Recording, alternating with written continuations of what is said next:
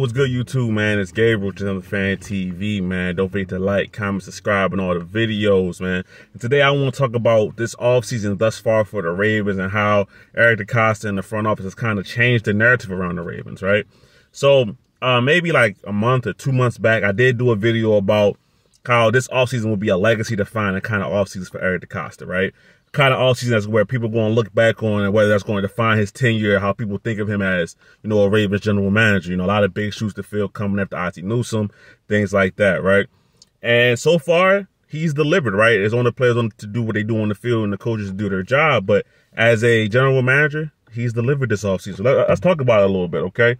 Um, first of all, um, firing Steve Saunders, right? Guy that could have been gone years ago. So that's the thing with some of these moves that Eric DeCosta did, right? It's like I'm going to give him credit for doing it, but some of this stuff is like, well, we could this could have been done sooner, but we're going to take the win that has been done at all, right? Sometimes they say better late than never, right? Okay, so firing Steve Saunders, who was a big issue. Uh, one of the primary reasons the Ravens got a F minus on that um, NFLPA report. Uh, kind of talked about this in a YouTube short that I did. So uh, a guy that um, Ward is welcome to say the least. There are players upon players. I mean, it had to be eight to ten players coming out, how saying how his training program, you know, hurt their careers, jeopardized their career. So that was it's good that they let him go, right?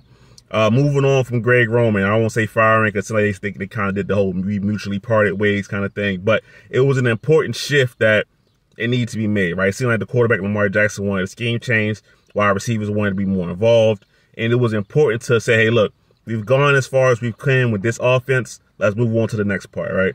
And then not just getting rid of, you know, uh, Greg Roman, overhaul pretty much a, a, lot of the assistant coaches, right?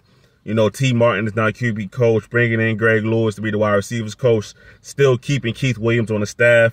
And then a big one that a lot of people are mentioning that a lot of people like, and, you know, myself included, is adding Chuck Smith, aka Dr. Rush, to really get that pass rush going, hopefully to unlock a guy like Odafe Oweh, you know, David Ojabo in his second year. You know, there's guys like Madubuike on the inside. So a guy, bringing in a guy who's known to unlock pass rushes, a guy that's known to help guys get after the QB, beautiful move, right? So the Ravens have done a lot organizationally to really try to shift the narrative and um, get this team kind of back to where they needed to be, right?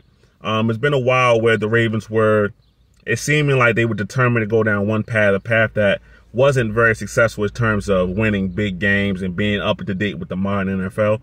But they've changed a lot of those ways, and I got to give Eric DeCosta for. I got to give him credit for saying that, hey, look, man, you know, things we were doing in the past wasn't working. I'm to take that accountability and I'm to change it, right? Um, so when he did the interview with Mike Florio on Pro Football Talk, he he took accountability for, for you know, saying, hey, look, we didn't surround Lamar Jackson with this or that. Um, I kind of failed him at helping him maximize his ability as a passer. To me, that was a big deal, right? Uh, it showed growth. It showed character. It showed that, hey, look, I'm not above admitting that I didn't do my best job and that I can't get better at my job. I love that, right? So, uh, speaking of, you know, Lamar Jackson and, and, and helping him out, two years ago, Eric DeCosta promised that he would revamp the O-line, right? And two years ago in the offseason, he did that. This offseason, he promised that he would revamp the wide receiver room, and he did it in a big, big, major way, right? Um, this is one of the best wide receiver rooms the Ravens have ever had. I'm gonna be, quite honest with you. Uh, probably, I guess you could say that 2012 run when you had Torrey Smith and Anquan Boldin, um, Jacoby Jones is probably the one that kind of rivals it, but I would say this one is better. Right, Rashod Bateman, talented first round wide receiver. We've seen that what he what he can do if he can just stay healthy. Um, they signed Nelson Agholor to be wide receiver four. A lot of us were worried, me included, that he was going to be wide receiver two. No, he's wide receiver four, or five, so that's great. And then signing Odell Beckham Jr. Right, that's an historic move for the Ravens. Right, that's a a big name that's still in a not on the back end part of his career kind of guy that was brought to the Ravens. That really hasn't happened before. And then on top of that, they doled out up to $18 million for Odell Beckham. That's huge. That's a huge commitment. That's saying, hey, look, we're taking this office and we're going in a new, completely different direction. We're going into a, um, I guess, an era uh, where we're going to be more up to date with the modern NFL offenses, and we're going to actually put forward our best, uh, our best effort to have wide receivers that actually scare the defense. So bring Odell Beckham here, I always say is a um, it's a it's, it's, an historic signing for the Ravens. It really is. I mean, I know people going to say, well, Odell Beckham's coming with ACL, 30 years old, this and that. Listen, the the uh history of the Ravens bringing in a guy like Odell Beckham just doesn't happen very often. So the fact that it happened, the fact that EDC was able to do that, you can call it an overpay, however you want to do it, right? Sometimes you have to overpay for things, right?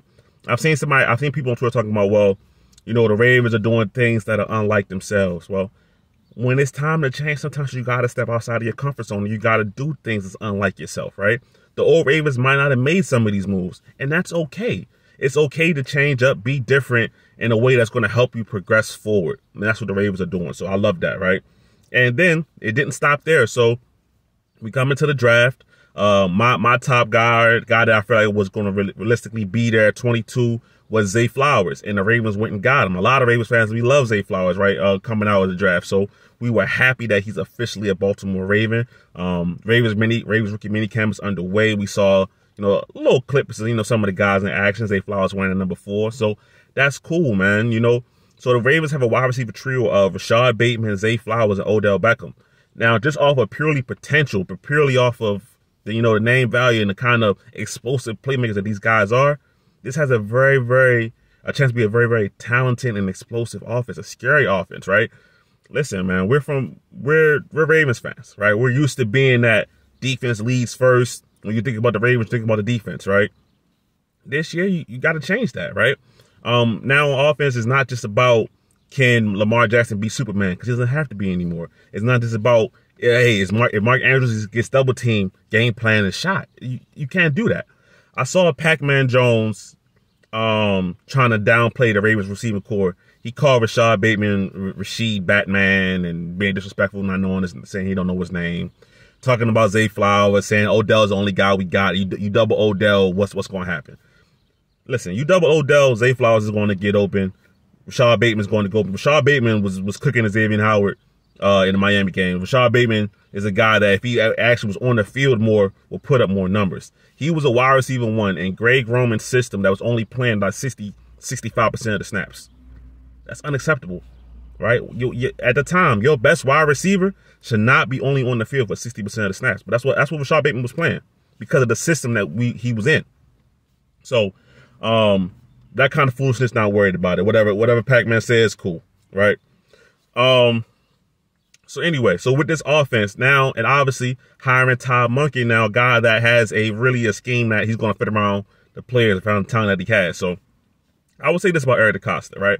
He is and seems to be a general manager that he looks for the needs of his of his offensive and defensive coordinator and finds players to fit that system, right? So when we when Greg Roman was the OC, he did uh uh sorry in this last draft, excuse me, he drafted Isaiah Likely, drafted Charlie Kolar, two more tight ends because they fit Greg Roman's scheme, right? with uh Todd Monken. We've seen that in Tampa Bay. He had a whole bunch of wide receivers catching passes. So what is so what is Eric DeCosta do this offseason? Get Odell, get Agholor, get Zay Flowers. Going to have Rashod Bateman coming back. Still got Devin Duvernay. Now you have a team where you could be multiple. You could do whatever you want out there, right? Um, and the Todd Monken has talked about he wants to put wide receivers in space, let them make plays, let them be guys that can get in one-on-one situations and win, right? That's beautiful, right? And then I don't want to bury the lead, obviously. The most important thing he did this offseason was he got the deal done with Lamar Jackson, right? And Lamar Jackson and Eric DeCosta admitted during the press conference that there were some dark days. Lamar just said he always wanted to be a Raven. The trade request just to get the ball rolling, which a lot of us figured that, you know what I'm saying? But um, no matter what, however you want to uh, shape it up, he got the job done, and Lamar Jackson is now locked up for the next five years, right? It's a good deal on both ends. Lamar Jackson gets the money, he gets the no trade clause, he gets the no franchise tag clause. That's great negotiating by Lamar Jackson on, on his behalf. You know what I'm saying? So all the people that are saying he couldn't negotiate a deal, I don't know what to tell you. It's great for Eric DeCosta because he locks up his franchise quarterback for five more years, and it's a good deal, right? So there were times this offseason, multiple times this offseason, where it didn't seem like it was going to happen, right? Um, they did a good job of, I guess, not talking about it publicly too much. But as fans, as observers from the outside looking in, there was some dark times, right? And they mentioned that, right? So I got to give Eric DeCosta a, a, a, big shout out for changing the narrative around the Ravens this offseason. I got to give him a shout out because going into the offseason, the narrative was who were their wide receivers? Their offense is, you know, from the 19, whatever, 20s, however you want to say it. Uh, will Lamar Jackson even be their quarterback next year? Will Lamar Jackson not their quarterback? What kind of team are they? Right? This is all things that were said and all things that were true. Um, wide receiver room is revamped. Offensive coordinator is a guy that's going to put the players in the right position to win. And Lamar Jackson, most importantly, your MVP quarterback is back in the fold and he's happy, man. Lamar Jackson is making jokes at the press conference about, I want to throw for 6,000 yards next season, right? A lot of people took that quote, probably took a little too literally, right? Obviously, he's he's having fun, he's excited, he's joking, but he truly feels as though that he can have his best passing season ever. And I believe it.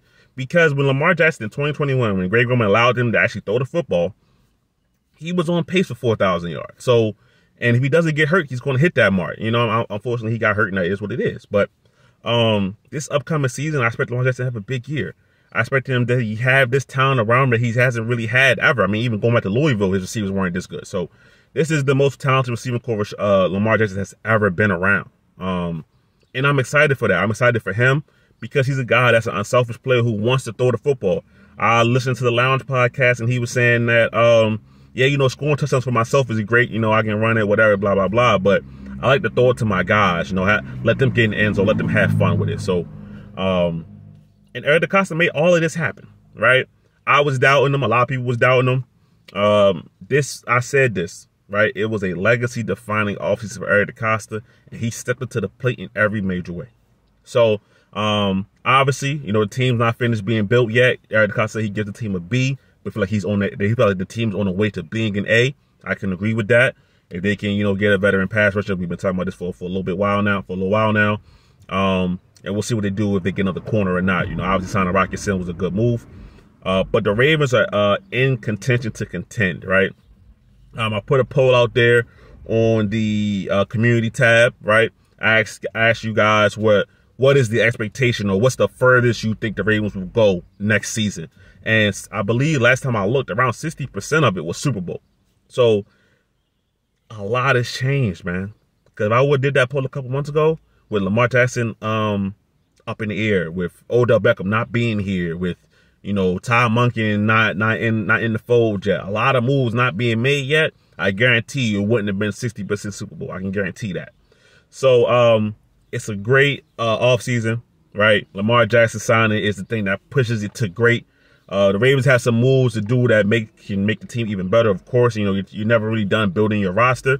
Uh, if these guys stay relatively healthy, Eric DeCosta has had one of the off seasons for the ages, um, and a really, really, truly, if the Ravens can finish it off the right way, it's changing his legacy as far as being a general manager for the Baltimore Ravens. So uh, that's what I got to say about it, man. Crazy offseason for Eric DeCosta, crazy offseason for the Ravens, and um, I'm happy that it's gone the way it's gone. Now, the only thing we have to worry about is, guys, please stay healthy if possible. You know, injuries can be fluke, but the guys stay healthy, man. This Ravens team looks mighty, mighty good. Uh, that's my thoughts on it, man. Let me know you guys' thoughts in the comments, man. But it's Gabriel, this other fan TV. I'm out.